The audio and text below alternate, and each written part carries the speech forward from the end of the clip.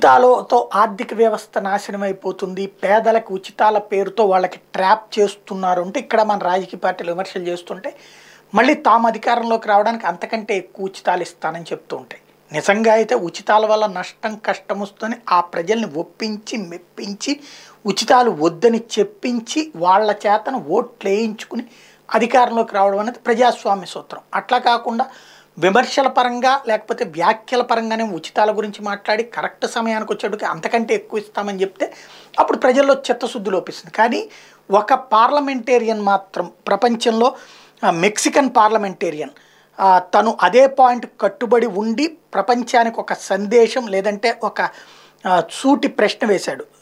ఏది మెక్సికాలో మెక్సికన్లో అక్కడ అధ్యక్షురాలు ఈ ఉచితాల మీదన ప్రకటిస్తున్నటువంటి సందర్భంలో a Mexican parliamentarian gets rapped by the president for being shamelessly naked ఒక పార్లమెంటేరియన్ ఒంటి మీద బట్టలు లేకుండా ఉట్టి కడ్రాయర్ మీదన పార్లమెంట్లో ఉంచున్నాడు. దాని మీదన అధ్యక్షురాలు సీరియస్ అయితే అక్కడ he replied this are you not ashamed of stripping the country naked by offering freebies and in the process looting tax payers money దీని మీదన ఎందుకు ఇలా ఉన్నాడన్నటువంటి దాన్ని చెబుతూ మీరు తీసుకొచ్చి దేశపు సంపద అంతా లూటీ చేసి ఇచ్చేస్తా దేశాన్నే నగ్నంగా నుంచోబెడుతున్నప్పుడు ఇందులో తప్పేంటంటూ నిలదీశాడు. తద్వారా దేశవ్యాప్త చర్చకి తావిచ్చాడు.